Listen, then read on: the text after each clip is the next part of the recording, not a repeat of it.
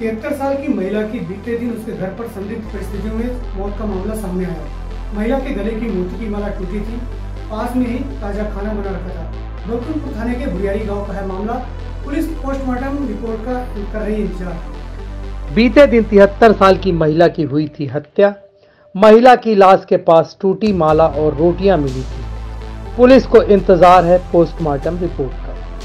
हत्यारों का नहीं लगा कोई सुराग। बैकुंठपुर थाने के मुरियारी गाँव का था मामला। बीते दिनों मुरियारी गाँव में रहने वाली अकेली व्रत महिला की संदिग्ध परिस्थितियों में लाश मिली थी। महिला गाँव में अकेली रहती थी। महिला की एक बेटी थी। उसकी शादी भोपाल में हुई थी। महिला के घर के आसपास रहने वाले लोग ही उसकी देखभाल किया करते थे। महिला के पति की पहले ही मौत हो गई थी। लड़की के अलावा उसका कोई नहीं था। लड़की की शादी उसने भोपाल में की थी। घर में अकेली रहने वाली थी महिला। फ़िलहाल सूत्र बता रहे हैं, महिला की रात में किसी ने दम घोटकर हत्या कर दी। इरादा उसका चोरी का भी हो सकता है। महिला के शव के पास महिला के गले में मोतियों की माला टूटी हुई पड़ी मिली थी। वहीं बगल में ताज़ा बना हुआ खाना भी रखा था। माना जा रहा महिला ने खाना बनाया होगा खाने की तैयारी कर रही होगी। उसी दौरान किसी ने उसकी गला दबाकर हत्या कर दी।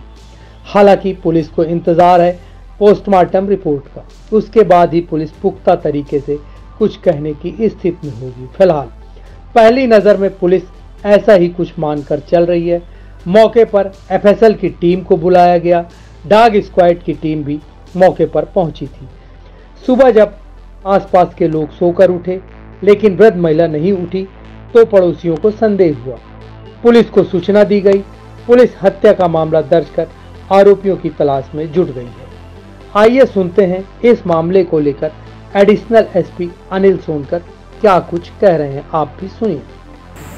बैकुंठपुर में एक पार्वती सेन मुड़ियारी गाँव में रहती थी।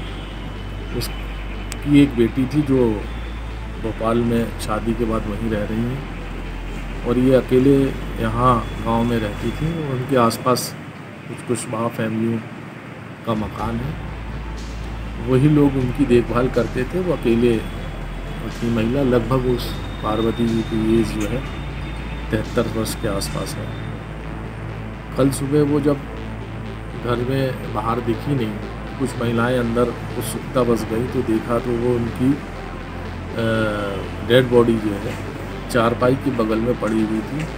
पास में जो है चूल्हे में खाने, खाद्य पदार्थ जो है बनाया हुआ, रखा हुआ था।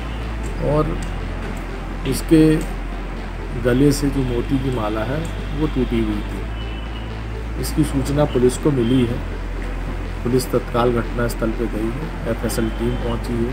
फिंगरप्रिंट के एक्सपर्ट्स पहुँचे हैं। और डॉग स्क्वाड भी पहुँचा है। घटना थोड़ा संदिग्ध प्रतीत हो रही है।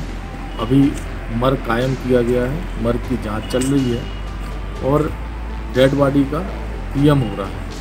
पीएम रिपोर्ट आने के बाद मृत्यु का सही कारण स्पष्ट हो पाएगा। जैसे ड्रीएम आता है तो अग्रिम कार्रवाई उसमें की जाएगी।